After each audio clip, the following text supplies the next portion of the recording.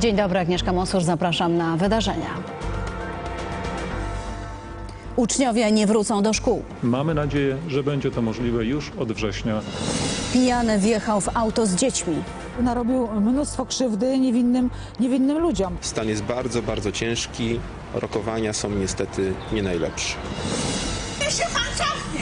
Ulica Lipowa bez drzew. Trzeba jedno zaczepiać. Nie wykonywaliśmy żadnej wycinki. Z pięknych zielonych alei zmieniał się w jakąś miejską bieda autostradę. Zamieszki na ulicach. Dochodzi do grabieży i przestępstw. Prezydent Trump w schronie. Moja administracja powstrzyma tę przemoc i zrobi to na zimno. Fundacja Polsat na Dzień Dziecka. uśmiechu, radości i nadziei